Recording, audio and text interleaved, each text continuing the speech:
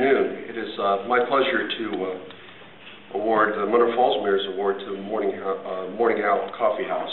I have some uh, experience uh, watching this business grow because they're located in a place that I uh, walk my dog by every single day.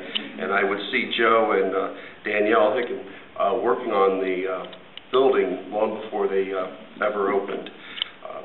I think Danielle made such a wonderful quote in which she said, "Hard work and the will to succeed can get you anywhere you want to be." Uh, Those of us in Munroe Falls are very grateful to uh, their contribution to our business community, and I know my wife really appreciates having that coffee house within walking distance of our home, and uh, we hope for your uh, continued success. So I'd like to call up Joe and Danielle Hicken. Thank you.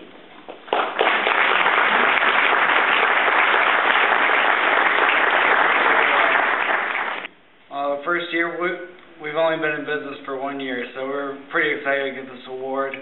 Um, it's family owned, family run, and all about the community. All we have in, in our shop is, um, products that are made in the local area, including coffee.